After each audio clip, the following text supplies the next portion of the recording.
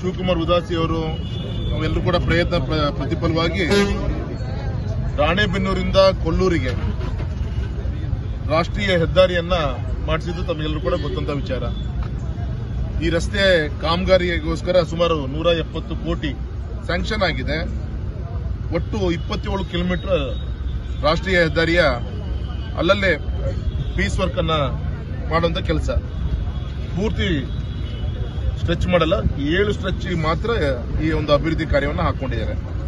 ಅದರ ಪ್ರಕಾರ ಮಾಸೂರಿಂದ ಮಾಸೂರು ಭಾಗದಲ್ಲಿ ನಾಲ್ಕು ಪಾಯಿಂಟ್ ಎಂಟು ಕಿಲೋಮೀಟರ್ ರಟ್ಟೆಹಳ್ಳಿಲಿ ಎರಡು ಎರಡು ಕಿಲೋಮೀಟರ್, ಹಲ್ಗೇರಿಯಲ್ಲಿ ಐದು ಪಾಯಿಂಟ್ ಮೂವತ್ತೈದು ಕಿಲೋಮೀಟರ್. ಈ ರೀತಿ ಅದೇ ತರ ಕೊಲ್ಲೂರು, ನಾಗೋಡಿ ಎಲ್ಲ ಸೇರಿ ಒಟ್ಟು ಇಪ್ಪತ್ತೇಳು ಕೋಟಿ. ವಿಶೇಷವಾಗಿ ತಿಪ್ಪಾಯಿ ಕೊಪ್ಪ ಹತ್ರ ಸೇತುವೆನೇ ಇದೆ. ಇದು ಮೇಜರ್ ಇಶ್ಯೂ ಇತ್ತು. ಈಗಾಗಲೇ ಸೇತುವೆ ಆಗಿದೆ. ಹಾಗಾಗಿ ನಮ್ಮ ಗೌರವಾನ್ವಿತ ಅಧಿಕಾರಿಗಳಂತ ನ್ಯಾಷನಲ್ ಹೈವೇ ಚೀಫ್ ಇಂಜಿನಿಯರ್ ರಮೇ, ರಮಣೇಂದ್ರ ಅವರು ಬಂದಿದ್ದಾರೆ. ಅದೇ ರೀತಿ ಎಸ್ ಸಿ ಅವರಂತ ರಾಜೇಶ್ ಬಂದಿದ್ದಾರೆ. ನಮ್ಮ ರಾಷ್ಟ್ರೀಯ ಹೆದ್ದಾರಿ ಎಲ್ಲ ಅಧಿಕಾರಿಗಳನ್ನ ಕರ್ಕೊಂಡು ರೋಡ್ ಇನ್ಸ್ಪೆಕ್ಷನ್ ಮಾಡೋಕ್ಕೋಸ್ಕರ ಬಂದಿದ್ದೀನಿ. ಇನ್ನು ಬಿಟ್ಟುದಂತ ಜಾಗ ಏನಿದೆ? ಅದಕ್ಕೆ ಬೇಗ ಡಿಪಿಆರ್ ರೆಡಿ ಮಾಡಿ. ಇನ್ನು ಅರವತ್ತು ಕಿಲೋಮೀಟರ್ ಉಳಿಯುತ್ತೆ. ಇಲ್ಲಿಂದ ಕೊಲ್ಲೂರು ಕೊಲ್ಲೂರು ಮಧ್ಯ, ಬೈಂದೂರು.